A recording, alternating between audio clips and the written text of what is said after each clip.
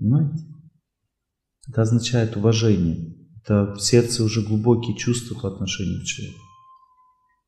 Понимаете, это значит, что ты много доброго сделал этому человеку. Не он тебе много доброго сделал, а ты ему много доброго. Когда ты много доброго сделаешь человеку, Бог дает тебе милость, и ты начинаешь видеть в этом человеке внутренние качества, чистоту.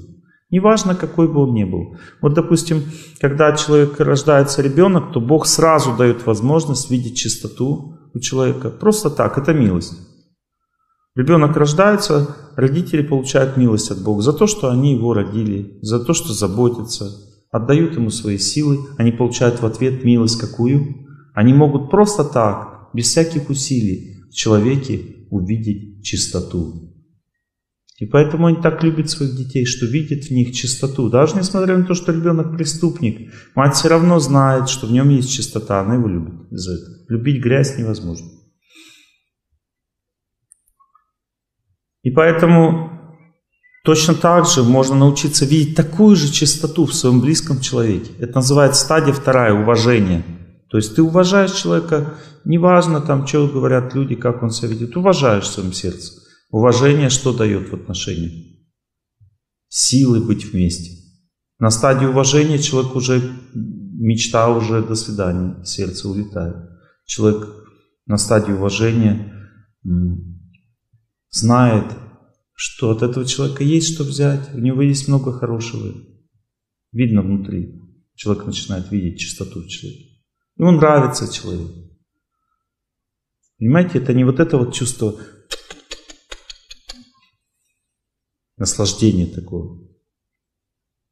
Вспоминаю, умираю, черные глаза. Только о тебе мечтаю, черные глаза. Понимаете, это не это чувство. Это чувство чистого, спокойное чувство. Взгляни на меня долгим взглядом. Спокойно, чистое чувство глубины в отношениях. Вот она настоящая любовь. Она не кончается. Душевный разговор. Серебряный связь. Много лет можно вместе жить таким чувством. Душевный разговор. Не бросают люди на стадию уважения друг друга. Не бросают уже, все. Стадия это появилась, можно там, тебе крышу может сорвать, но бросить ты не бросишь. А есть еще третья стадия – верность. Это уже очень высокий уровень. Это все. Верность приходит, допустим. Верность означает знание воли Бога. Вот Бог тебе дал этого человека, через него, значит, будет счастье. Через него приходит страдание, но через него же придет и счастье в жизни. Ты когда это знаешь, что это, это знание дает тебе верность. И верность, она что, что дает человеку? Она дает человеку способность как бы побеждать судьбу по-любому. И дает счастье очень большое, дает удачу в жизни. Люди, когда верны, Богу так нравится, и Он им все ворота открывает. Но надо дойти до этой стадии, это непростая стадия. Она может спасти от смерти даже. Ну, это такое знание, которое мало кто может понять, как это возможно вообще. Ну вот э, верность, она разрушает все препятствия. Только в песнях можно это услышать, когда человек сердце свое открывает. Можно услышать, как человек побеждает судьбу с помощью вот этой третьей стадии победы над судьбой. Третьей стадии в отношениях, когда ты сначала э, чувствуешь спокойствие от человека. Тебе нормально с ним, потому что ты почувствовал капельку чистоты его. Служа ему. Потом дальше от него пошла взаимность какая-то, начал его уважать. На третьей стадии появилась верность, глубокое чувство понимания замысла Бога по отношению к тебе. Почему именно этого человека тебе Бог дал? Хотя он не соответствует твоей мечте. Ты вот мечтал о другом. То, что мечтает, то, что человек мечтает, он от Бога получить не может. Знаете об этом? А если получает, всегда это еще хуже. Потому что ты получил свою мечту. Это значит, сильная возникает влюбленность. Сильная влюбленность разрушает отношения, мы вчера говорили. Невозможно сохранить, потому что ты перетягиваешь на себя любовь, начинаешь ревновать, начинаешь каждый шаг контролировать человека, начинаешь кипеть без него, там все, теряешь себя, и он так жить не может. Он смотрит на тебя, ты ему ничего не даешь вообще, ты только берешь, берешь, берешь, он уходит. Невозможно жить. Вот когда ты выполняешь свой долг перед человеком, принимаешь его. Говорите, Олег Геннадьевич, как можно принять там пьяницу, там развратника там, и так далее. Конечно, в семье есть предательство. предательство. Выпивает, предать, предает человек. Изменять, предает, это предательство все. Это невозможно принять. Невозможно уважать, но возможно понять зачем. Возможно понять, что это испытание до моего счастья. Еще далеко до принятия. Я должна молиться для того, чтобы просто отработать свою плохую судьбу. Сейчас человек, через человека судьба действует моя. И когда ты принимаешь, говоришь, да, все, я согласна, судьба, спасибо, что вот, ну, как бы ты мне дал Бог знание о том, какая я на самом деле. Человек принял судьбу в этот момент, начинает исправляться близкий человек. У него появляются проблески, он пошел, пошел, пошел. Потому что все эти механизмы, они есть, если механически, технически рассматривать, почему мужчина курит. Потому что он напряжен, напряжения не хватает, потому что нет доброты, нет правильных отношений, пьет человек, нет любви. Ну, то есть можно это все так тоже объяснить. Но если ты принял человека любовь, начинает идти. Ты не принимаешь, не идет любовь. Он не получает любви, начинает пить. Ты приняла, пошла любовь, перестал пить. Молишься Богу, Он лучше, лучше, лучше становится. Что, не верите мне? Попробуйте, увидите, как это работает.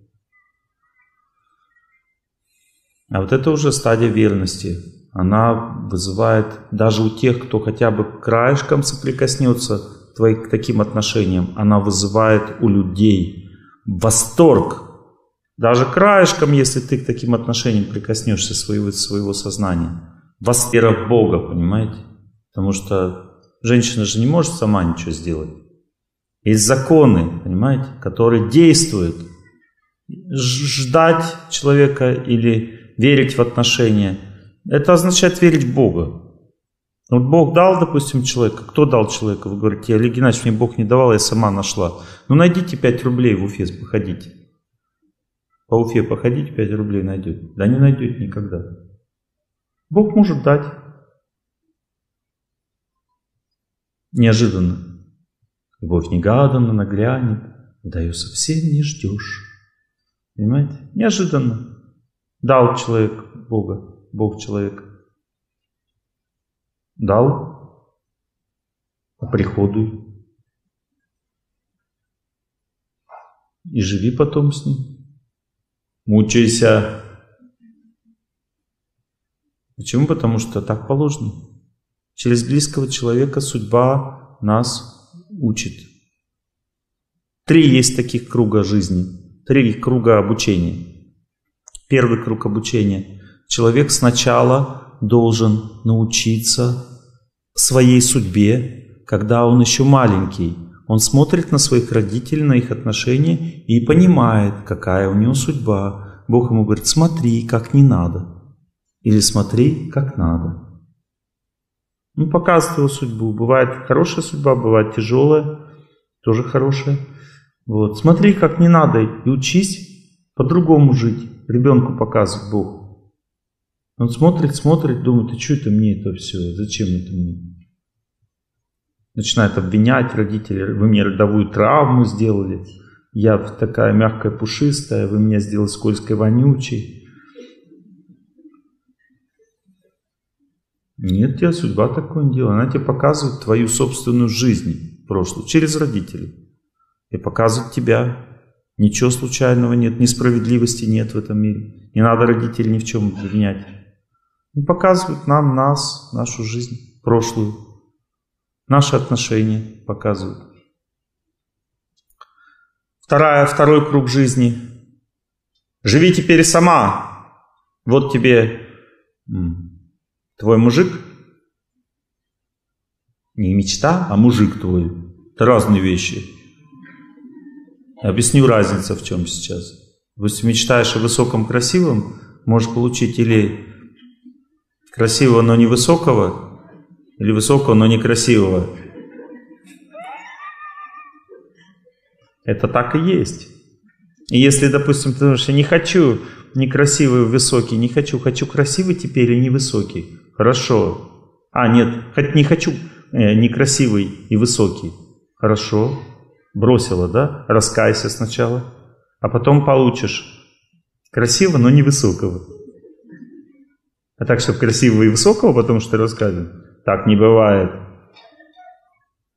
Ты же мечтаешь, да, сейчас все-таки, и мне не повезло, да, сейчас это, и, и прям выйду, найду себе нормально, да? Ничего не получится. Допустим, как обычно бывает, мужчина строго себя ведет, женщина такая мучается с ним, думает, ой, хочу мягкого, нежного. Бросила. Пока не раскаешься, вообще никого не получишь. Мысль пошла, что-то не то сделала, начала раскаиваться. Хорошо, получила. Мягкого, нежного, но ленивого. Потому что строгий, он сильный, да? Ты же не думаешь о том, что он сильный? Тебя защищает. Мы то, что имеем, никогда не ценим. Хочу нежного. Нежный, но работать не хочет. Думаешь, нет, лучше опять назад строгому. Или с мягким, нежным пожелать что-то, строгого хочу. Хорошо, получи строгого. И распишись. Но уже не нежного. Потому что все вместе не бывает. Понимаете, это святые люди все вместе. А святые люди не женятся, они в монастырях живут.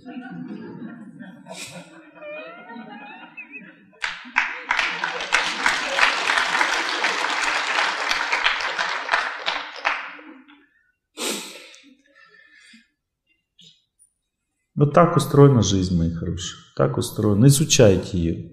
На втором круге не справились, не смогли правильно отношения строить. Третий круг жизни есть. Рождение детей. Дети родились. Вот теперь ничего ты не сделаешь. Смотри, как ты вела себя не так, и раскаивайся в этом. Молись Богу. Не поможешь ты своим детям. Когда они вырастут, наблюдай дальше за ними. Молись и понимай, что ты наказана судьбой за то, что жила неправильно. И дай им возможность жить. Они тоже живые.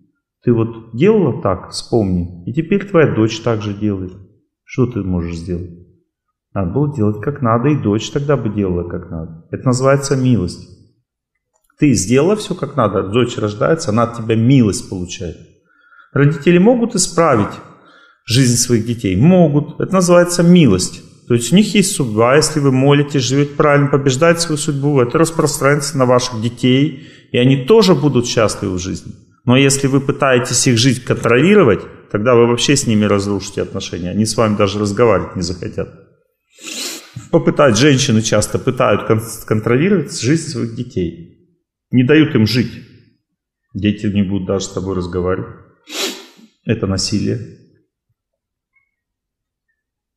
Женщины часто любят жить не своей жизнью, а жизнью своих любимых, тех, кого они любят.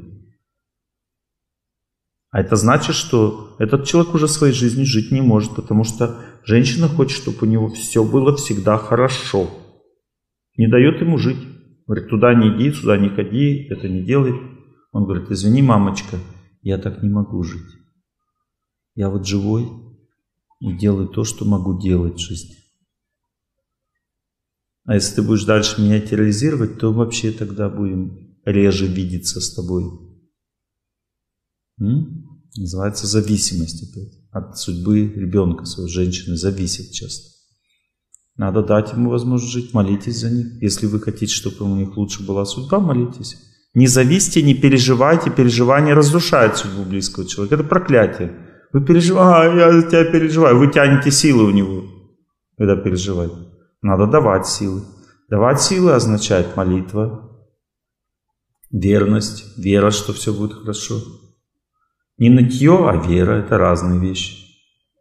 Ноет человек, разрушает судьбу близких, верит, помогает. Женщина может верить? Может. Одна женщина а, провожает на войну сына с верой и постится, молится, и он побеждает. Вторая ноет, плачет, разрушает его жизнь проклинает его таким поведением. Человек уходит из жизни, одни воют, ему там очень тяжело в это время. А другие молятся за него, ему там становится очень легко в это время. Одни на поминках квасят, из этих злых духов привлекают, так сказать, к поминкам. Они ему туманят мозги, он вообще ничего не соображает, что там происходит. А другие молятся, постятся. Поминки проводят в трезвом состоянии. Таким образом они очищают жизнь человека, приближают его к Богу.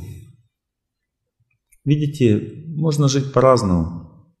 Можно жить так, как все, а можно жить так, как надо. Это разные способы жить. Потому что все обычно не туда идут в своей жизни. Обычно. Потому что не туда идти легче, а все идут туда, куда легче. Вот как мы выбираем цель в жизни? А то, что нам нравится, то и цель. Ребенок родился, ребенок цель. Квартира нужна, квартира цель жизни, значит. И так далее. Человек цели жизни выбирает, что ему надо. А надо выбирать правильно. Надо учиться, потому что от высшей цели жизни зависит, от чего ты счастье будешь получать. Допустим, квартира приближается к тебе, ты счастлив, но она же не может и не приближаться, судьба же волнами идет. Как, как квартира перестала приближаться, все, тебя косит.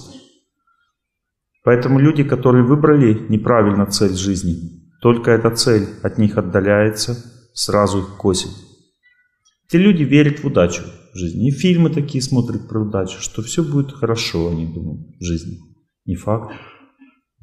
Иногда бывает хорошо, а иногда плохо. Но мы должны во что верить-то? Должны верить, что если мы правильным путем пойдем, мы победим судьбу. Неправильным пойдем, не победим. Надо верить в знания изучать, как правильно жить, и учиться идти правильным путем. Бог тем более может дать такую возможность. Вы же хотели получить знания. Когда-то вы хотели. Которая шлет свои лучи всем живым, они постоянно скулить, плакать, неплохо, мне плохо. Это, от этого лучше не станет. Нужно брать свет от природы, от добрых людей, от Бога и отдавать, брать и отдавать. Это правильная жизнь. Я только сосредоточился на молитве, молился, молился, брал от Бога, отдавал людям, брал, отдавал. И у меня пошла вот река, вот эта течь, которая описана в Священном Писании, через сердце. Называется река любви. Ты забыл про себя, просто берешь у святости, отдаешь людям, берешь у святости, отдаешь людям. Вот эта река любви через сердце, когда течет, она очищает сердце от всей грязи. Жизнь становится прекрасной. Но условие такое. Надо забыть про себя. Как про себя вспомнил, река останавливается. Она не может идти. Река любви означает, я думаю о Боге, служу Ему и делаю это на благо своих сыновей, на благо всех. То есть беру у Бога, отдаю всем, беру у Бога, отдаю, но про себя не думаю. Не думаю о том, когда мне легче станет жить, когда мои дети станут лучше, я об этом не думаю. Я просто служу, беру Бога, отдаю, беру, отдаю. И вижу, наблюдаю, как река любви вот эта вот, она очищает мою судьбу и делает так, чтобы стало лучше. И когда человек начинает видеть, как это работает, это называется вера. Он уже у него нет сомнений, что надо просто думать о Боге, Отдавать другим людям себя, всех заботиться. Отдавать означает принимать человека. Самое главное это принять человека. Вот какой есть, такой есть. Ребенок двойку получил, сначала прими его с двойкой вместе. Он теперь с двойкой уже живет. Ты его таким с двойкой вместе прими, а потом, когда ты его примешь, тебе легче станет, успокоишься, тогда доброта начнет лечить этого ребенка. Ты сядешь с ним, начнешь с ним общаться, узнаешь очень много интересного про его жизнь. Может, у него плохой период начался, он скажет, мама, я что-то сейчас не могу учиться, как раньше. Значит, плохой период. Молитесь за него, не, не мучайте его. Может быть, еще хуже. Может, он вообще не сможет учиться. У меня был такой случай, когда у ребенка начался плохой период, родители этого не распознали.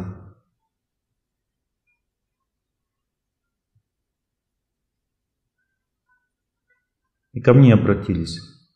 Я им говорю, у него плохой период. Если он дальше будет учиться в этой школе, то дальше, через пару месяцев, вы увидите своего ребенка в психбольнице.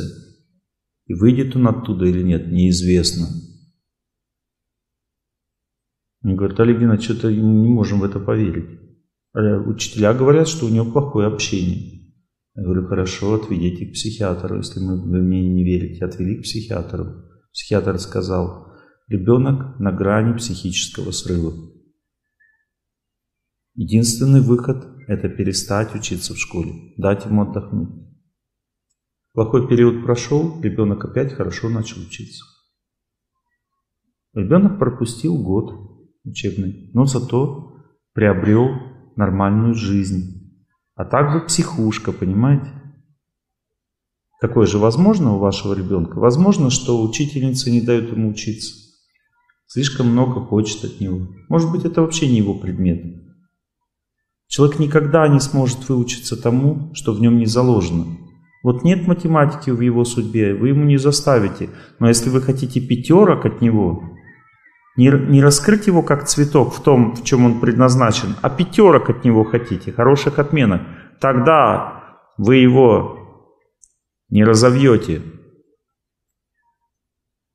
Он вырастет и не будет знать, для чего он предназначен в этой жизни. Потому что ребенка надо растить там, где он развивается. В литературе хорошо пошел, значит все силы в литературу. Пятерки по остальным предметам нет пятерок, ничего страшного. Эйнштейн вообще на тройке учился. Он бабамс. Стал гением. Почему? Потому что он всегда развивался в своем направлении. Пришло время, развился, стал ген, гениальным человеком. Все, так устроен этот мир. Но если вы хотите пятерок от ребенка, то он не разовьется, потому что у него не может быть пятерок везде. Человек развивается только в одном направлении. Много интереснее можно узнать, когда ты принимаешь двойку своего ребенка. Можно узнать, что это не его направление, что учительница плохой период, может быть он сейчас болеет, какой-то болезни, поэтому не может учиться. И может быть просто только 15-10% это просто его шалость, что он не хочет учиться. Может быть. А может быть он не хочет учиться, потому что когда ему надо уроки делать, вы телевизор смотрите в это время и разговариваете, э, судачите с подружками. Это расслабленная атмосфера.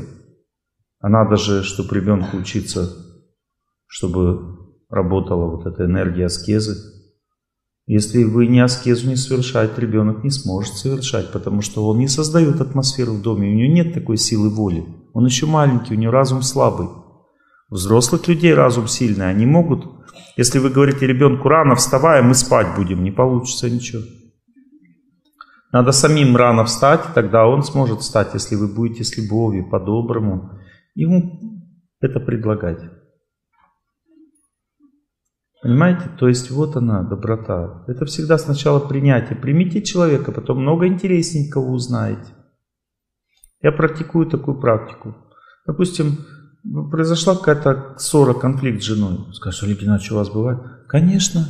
У всех же, мы же живые люди. Вот произошла ссора, конфликт с женой. Я первым иду просить прощения всегда. Хотя знаю, что я не виноват. Я прошу прощения. Жена говорит, да я слышала от подружки, что ты в лекции говоришь, что ты знаешь, что не виноват, просто еще долго, просишь прощения. Что тебя прощать-то? Я говорю, да нет, я виноват. Она, в чем?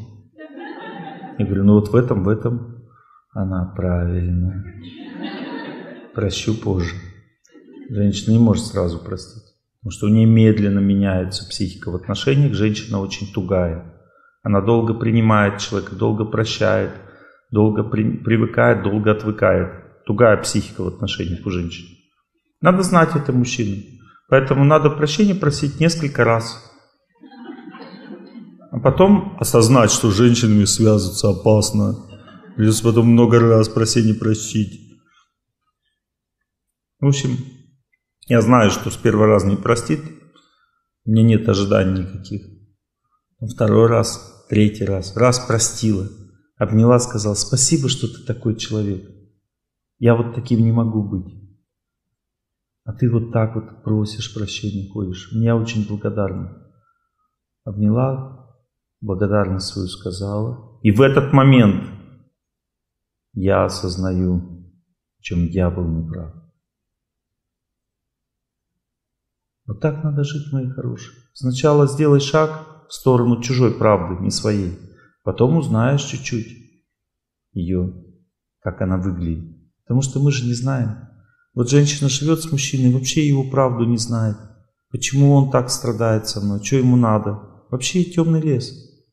Мужчина живет с женщиной, вообще не знает ее правды. Почему? Потому что мы всегда только отставим свою. Это очень опасно так мыслить даже. Всегда семьи только разрушаются.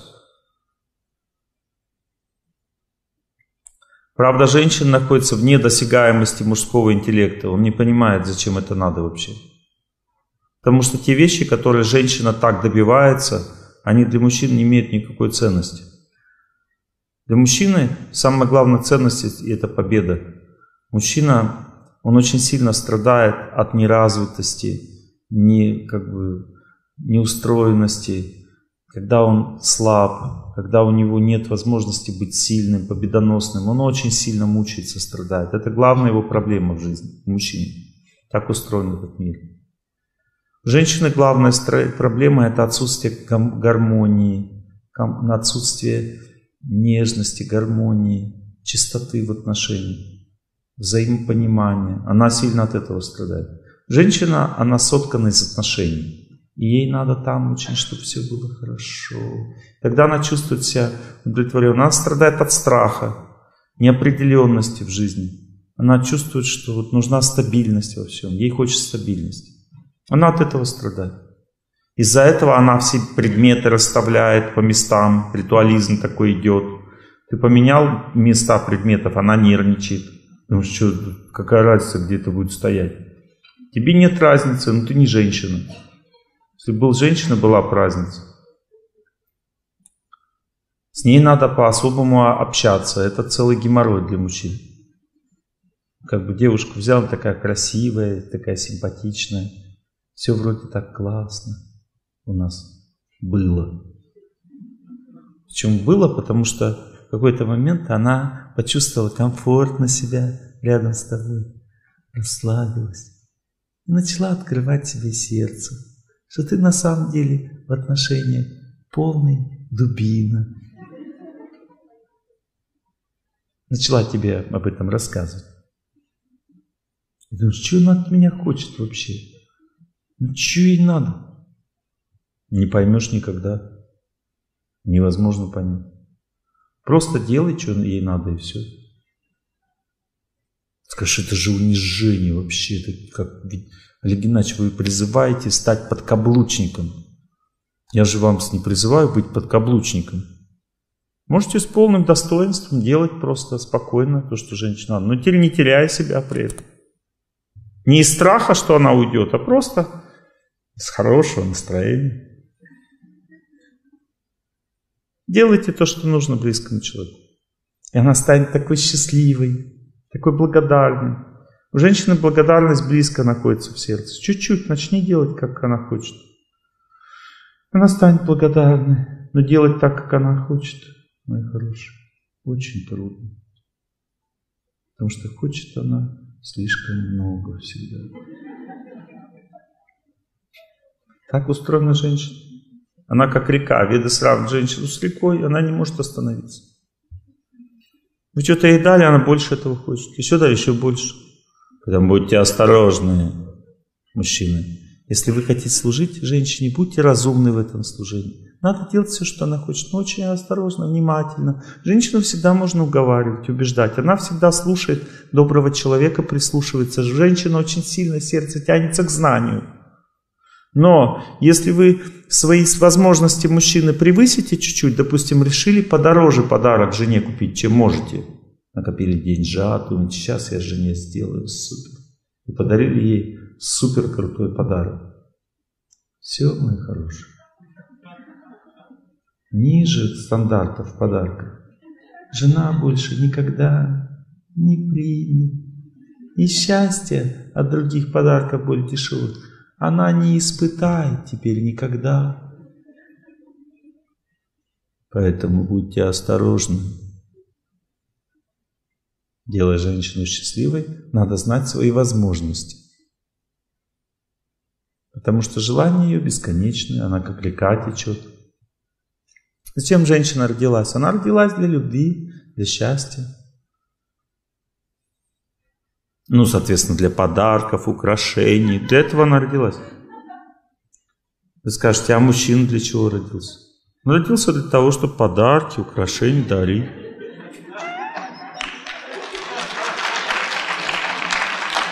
Вы скажете, несправедливо! Мужчины могут сказать несправедливо. Как несправедливо? Все справедливо. Взамен на подарки украшения она отдает тебе самое ценное, что есть у человека. Это любовь. А любовь ни за какие деньги не купишь. Понимаете, она тебе любит за это. Любовь исходит из женщины. Это ее достояние. Она дает тебе счастье, любовь, заботу, теплоту. А ты какие-то подарки там все вообще. Ну, какую-то нежность, внимание, заботу, подарки, защиту. Защита также означает, что женщине нужно постоянно говорить одну и ту же фразу. Да у нас все будет хорошо.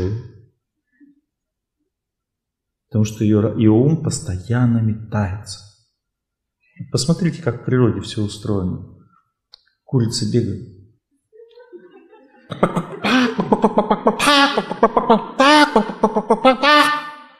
И когда слишком сильно бегают, петух что делает? Встает такой повыше. То есть все будет хорошо. Я не раз такие.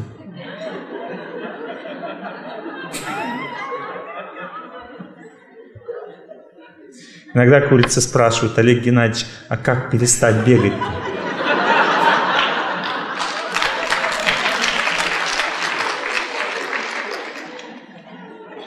Не спрашивают, Олег Геннадьевич, то на эту работу, то другую, не знаю, где быть, то туда, то туда тянет. Надо перестать думать о работах и начать думать о своей личной жизни. А если нет личной жизни? Тогда надо о ней думать начать. Зачем? А чтоб была. А почему? Потому что женщина как река, о чем думает, то и получает. Она имеет благословляющую и проклинающую силу. И женщине переключить свое думание очень сложно, в течение реки надо поменять. Вот если она настроилась на замуж, то на работу она же не сильно обращает внимание, и она работает там, где надо, там, где работала, все, не меняет работу. Течение реки поменялось, и некогда думать, что и там на работе не очень хорошо. А и никогда на работе не будет очень хорошо, потому что это не ее среда. Вот крокодил никогда не, будет, не сможет победить слона на суше. Он может победить слона только в воде. Слон никогда в воде крокодила победить не сможет. Потому что не его среда. Понимаете? Среда женщины – это семья. Как только завела себе мужа, Завела ребеночка. Сразу. Закончилось. И что началось? Ко. Ко. Хозяйке даже не надо как бы ходить смотреть, смешла, снесла курочка яичко или нет. Она просто слушает, мне рассказывала женщина. Как только курица начала, ко, о, значит снесла яичко, все. Перестала бегать, как сумасшедшая.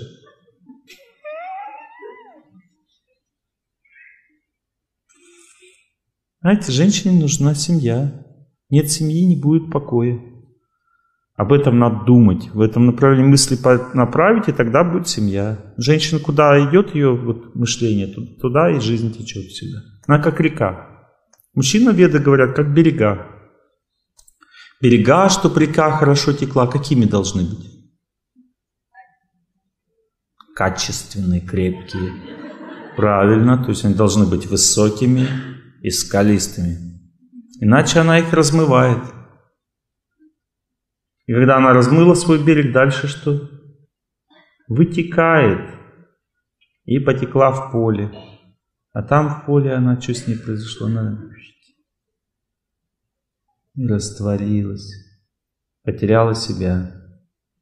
Когда берега высокие, река течет, они должны быть пошире, конечно, чуть-чуть. Потому что ей же много хочется места, чтобы течь. Ну, чуть-чуть побольше сделай место. Не слишком много. Чуть побольше. Если совсем мало, она будет бурлить, ей мало места течь, будет бурлить, мозги парить. Ну, чуть пошире сделал, не сильно широко, чуть-чуть пошире. Бурлить перестала, слава Богу, все, пусть течет. Плотину поставил ей, говоришь, это не надо, не, не разрешаю, то не разрешаю, плотину поставил. О, брат, это очень опасно. Женщина, она же не может без счастья жить. И цель жизни это счастье. Ты течь не даешь, туда не ходи, сюда не ходи, это не делай. Плотину поставил, жить не даешь. К родственникам не ходи, к детям не ходи, туда не ходи, сюда не ходи. Все, плотина пошла, что происходит дальше? Терпит, наполняется. Наполняется, наполняется. Дальше есть три варианта. Первый, плотину прорвала, плотина снесла. Второй вариант, ну это нормальный вариант. Второй вариант, потекла в другую сторону. Очень опасный вариант. Третий вариант, обтекать начала плотина. Нашла лазейки. Тайком обтекает. Ну, тоже нормальный вариант. Самое опасное, если она свернула потекла в другую сторону. Вот это опасно. Поэтому женщине надо понять, что ей нужны берега. Берега означают правила в жизни какие-то, обозначить, куда нельзя течь. Одной в отпуск нельзя ездить там, допустим. Ну что, там же опасно в отпуске. Там. Она же не соображает ничего. Любилась кого-нибудь, все, крышу снесло. Чего нет? Нет? Нет, вон женщина говорит, ну-ка давайте микрофон я, сейчас разберемся. Ну нет, говорит. Вам, вам, вам, вы же говорите нет, да. Вот, и давайте, что значит нет? То есть вам можно есть одной в отпуск без проблем, да?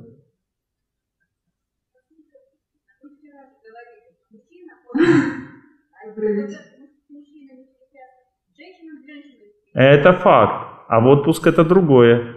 А, бывает разный. Как вы? А, допустим, активным туризмом, где занимаюсь в этом году, в июне, а, зашла в Эльбрус. А там на активном туризме что, мужиков нет, что ли? Были, но там, если вообще, там э, высота 5642 метра, там... А представляете, какой-нибудь герой такой попадется, на высоту лезет лучше, чем вы. Чего нет? Совершенно Вибрации другой уровень. Вот об этом я и говорю, что там другой уровень не вибрации, не такой, как у мужа.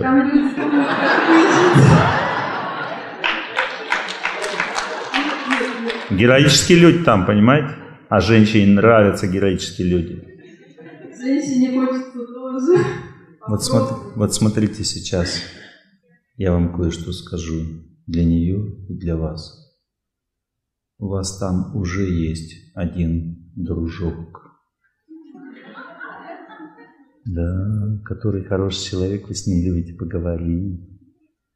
Что нет? Что нет? А?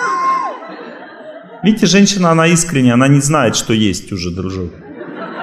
Она просто искренне общается со всеми, а тот ее... Группа, группа которая... А тот ее любит уже. Она пока не знает об этом. Я не против ваших поездок на Эльбрус, моя хорошая. Просто вы должны знать одну вещь, что женщина в любви себя не контролирует. А у меня вопрос еще по лекции можно? Нет, сейчас нельзя, садитесь. Мы про Эльбрус только.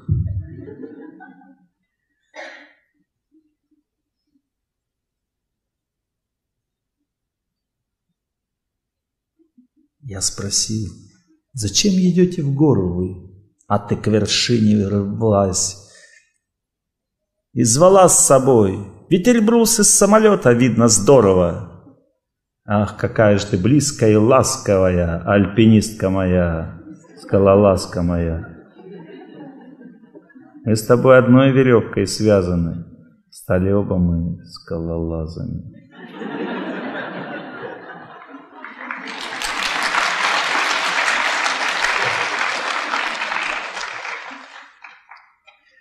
Даже если и нет, нет, отлично. Этот разговор вам надо было услышать, потому что через год и два месяца вы узнаете, о чем я с вами говорил.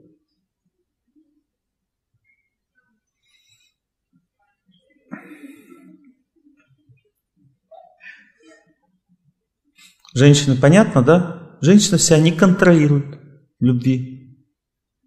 Не может контролировать себя. Воля ее теряется. Как только любая энергия любви пошла, она чик, теряет волю.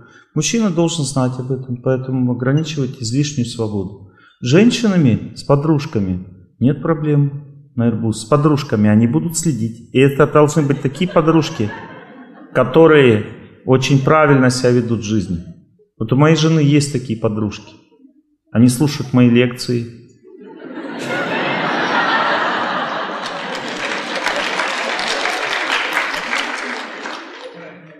Но моей жены даже мысль в эту сторону не шелохнется. Но она никогда одна никуда не поедет. Никогда ни за что. Сама. Не то, что я запрещаю.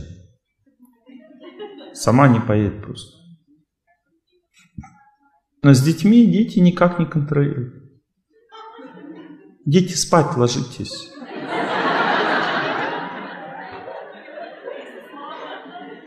А с мамой нормально.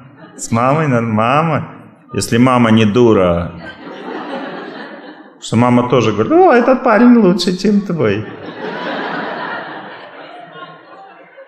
А? А свекровь тогда вообще самый лучший вариант. Вот со свекровью езжать вообще без проблем. Отличная идея. Отлично, да. За свекровью супер. Она тебя научит в горы ходить.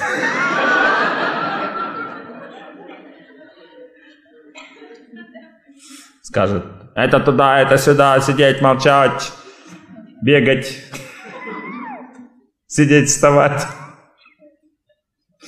Женщина тренируется очень хорошо рядом со свекровью. Быть смиренной, доброй. Супер школа. Супер школа.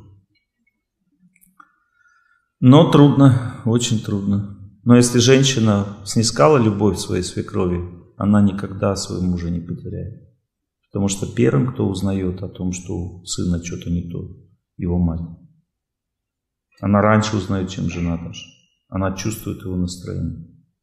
И он говорит, ты куда пошел смотреть? Гад такой. Муж хорошую жену дал. И мужчина на какой-то стадии еще может услышать. А потом есть такой момент, такая стадия, когда уже услышать невозможно.